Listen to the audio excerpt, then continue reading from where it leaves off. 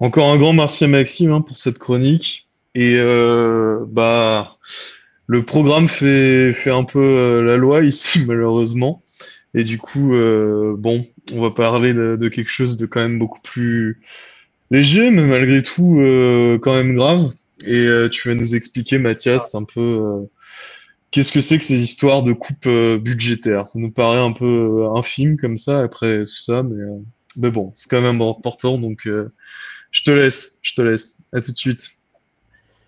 À tout de suite. Alors, vous, vous n'en avez peut-être pas forcément entendu parler, hein, mais le gouvernement a annoncé mi-février vouloir économiser 10 milliards d'euros. Si jamais vous en avez entendu parler, peut-être que vous avez pensé comme moi, bah, bah une coupe de plus, hein, on est déjà assez habitué, hein, une de plus, une de moins, qu'est-ce que ça change? Mais y voir d'un peu plus près, celle-ci n'est pas si banale euh, que ça. De quoi s'agit-il exactement? Donc, le gouvernement a décidé par décret le 21 février dernier de réduire le budget de l'État de 10 milliards d'euros. Pourtant, si vous vous souvenez bien, il n'y a pas si longtemps, dans cette même émission à la NUPES, nous avions commenté les discussions sur le projet de loi de finances qui a finalement été adopté fin 2023 à travers un 49.3 comme on en a maintenant l'habitude. Alors pourquoi à peine deux mois plus tard, on revient sur le budget tout juste adopté? Car en fait, le gouvernement a dû réviser ses prévisions de croissance à la baisse pour 2024 de 1,4% à 1%. Et comme il tient absolument à atteindre son objectif de 4,4% de déficit sans augmenter les impôts, il ne lui reste plus qu'à diminuer les dépenses.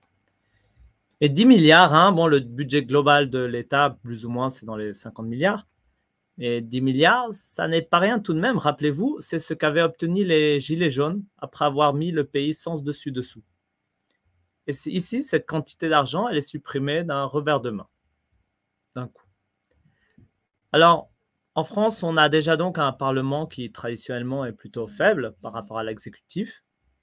Qui plus est, il ne vote maintenant même plus le budget de l'État depuis 2022, puisqu'il est toujours adopté à coup de 49.3.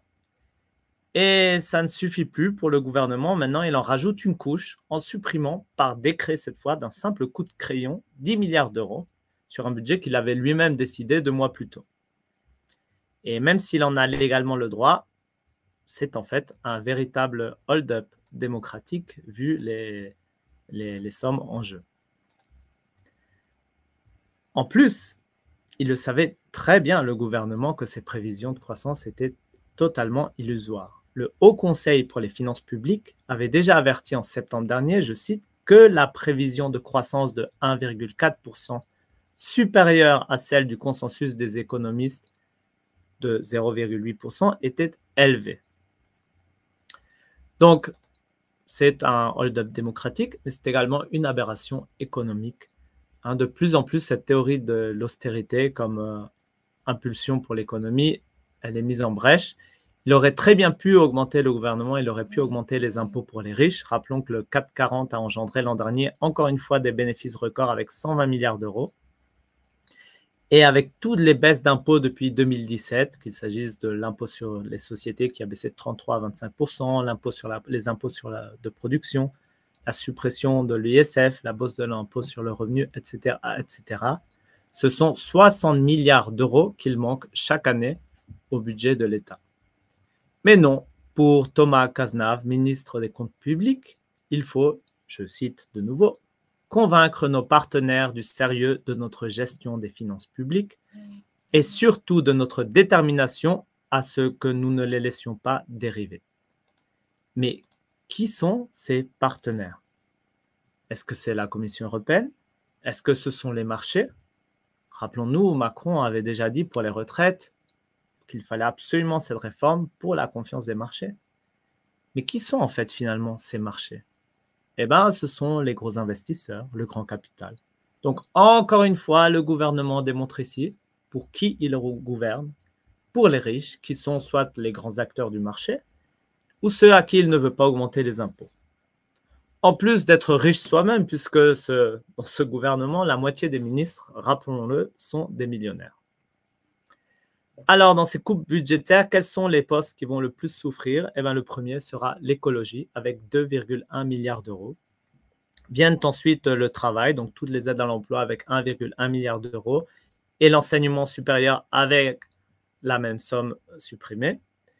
Puis on a également ensuite, par exemple, 750 millions d'euros en moins pour l'aide au développement ou 700 millions d'euros en moins pour l'éducation nationale.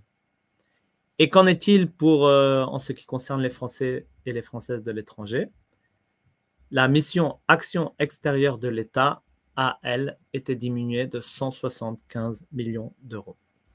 On rappelle qu'elle comporte le programme 105, Action de la France en Europe et dans le monde, le programme 151, Français à l'étranger et affaires consulaires, et le programme 185, Diplomatie culturelle et d'affluence.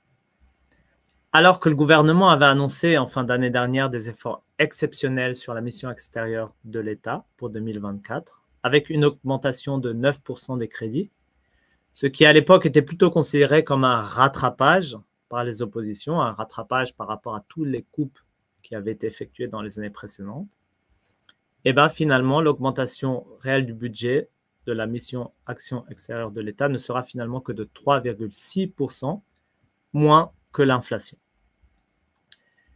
Donc finalement, beaucoup de bruit pour rien, et pour une petite actualité par rapport à ce point-là, il y a à peine quatre jours, Bruno Le Maire a déjà annoncé que ces 10 milliards ne suffiront pas, laissant entendre que cet été, il y aura peut-être ou, très, ou probablement un projet de loi de finances rectificatif. Cette fois-ci, ce ne serait donc pas un décret. Donc, une nouvelle bataille parlementaire en perspective qu'il faudra, de notre côté, savoir soutenir dans la rue.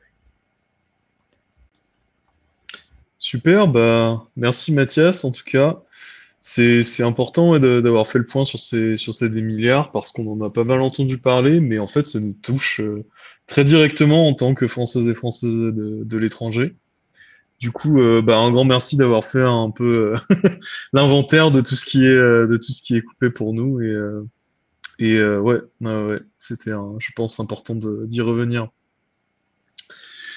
Et bah écoute, encore un grand merci à toi. Et sur ce, je te propose euh, qu'on continue un peu la suite. Une, euh, une, chronique et une nouvelle, euh, une nouvelle participante.